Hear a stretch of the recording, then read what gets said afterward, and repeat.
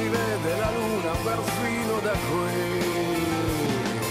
Qui su Radio S è arrivato il momento del 3 minuti con chi sarà l'ospite di oggi? Sentiamo. Radio S. The sound sensation across the nation. Siamo qui con Gabriele Salvatores, eh, questo progetto della Happy Family. Non è la stessa cosa forse alle sale, ma c'è una piccola emozione anche per il DVD e adesso per il Blu-ray? Ma come no, certamente sì, anche perché non si immagina nella quantità di persone che vedono i film in DVD o in Blu-ray invece che al cinema. Per esempio quelli che hanno più o meno la mia età, che hanno figli, cose eccetera, per cui è difficile che escano in casa. Cioè quelli di Marrakesh Express, il pubblico di Marrakesh Express magari si, sta, si vede Happy Family in Blu-ray, quindi molta emozione. Ma si scatena quella logica delle statistiche come succede nelle sale o è tutto molto più tranquillo? È più tranquillo, però è più tranquillo perché ancora non è un uso mm, così ampio, però io credo che si arriverà addirittura ad avere la sala come momento fashion, diciamo espositivo del progetto e sempre di più si arriverà ad avere l'home video o, o la televisione on demand, quindi eh, bisogna cominciare a pensare a questa possibilità. E anche ad avere delle critiche eh, per i Blu-ray, delle riviste, ma ci sono già però, eh, DVD e Blu-ray, riviste specializzate, eccetera.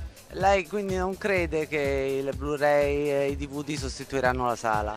Non totalmente, non totalmente, la sala rimarrà credo sempre, eh, diventerà una, una, scelta più speciale come una specie di club privilegiato, però sicuramente, sicuramente la, il, non possiamo non considerare il futuro del non video, sarà sempre di più così. Io poi so che gli esercenti non sono d'accordo, ma io poi sarei favorevole addirittura a un'uscita contemporanea, sale, eh, Blu-ray, DVD e Pay TV, assolutamente. Senta, progetti per il futuro? Eh, sì, sto, stiamo scrivendo questo um, film tratto da un libro che si chiama Educazione Siberiana, è un, una storia molto forte dove è molto fredda perché andrò a girare lassù, no, è molto calda invece di sentimenti, è una storia romantica e forte di ragazzi cresciuti in questa comunità criminale onesta, loro si definiscono criminali onesti siberiani.